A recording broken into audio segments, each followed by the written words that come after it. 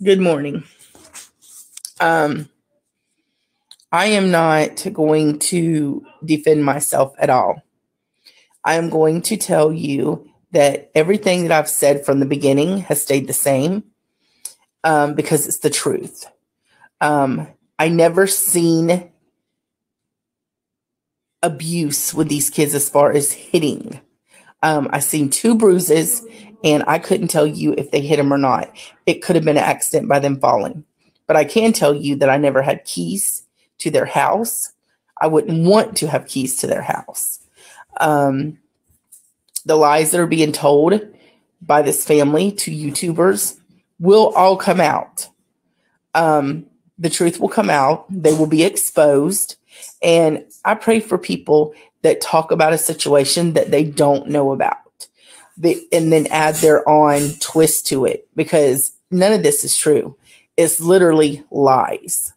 Um, and it's sickening how people can try to make money um, by lying on other people. Like it's very sickening. But I am a firm believer what we do in this life, good or bad, comes back to us and it will come back to them. But on a positive note, I am still praying for Quinton. We still love Quinton. Um, I'm not going to talk about the situation anymore because it stresses me out. It um, is overwhelming a lot, but I'm just done. Um, thank you all for the positivity. Um, no negativity on my page. Somebody is watching my page and reporting back to these YouTubers, but I don't care because I have nothing to hide. Um, I have nothing to change in my story. Um, and it, it's not a story, it's the truth.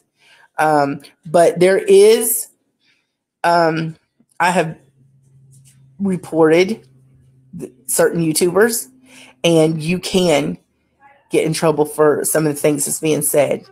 Now, I said some of these YouTubers are evil and mean because they are. They're spreading lies and they don't even know. They just believe the person that is also a liar. So, anyway, I hope y'all have a wonderful, blessed day. Um, let's all stand together and pray for Quinton as well. Um, thank you all and God bless.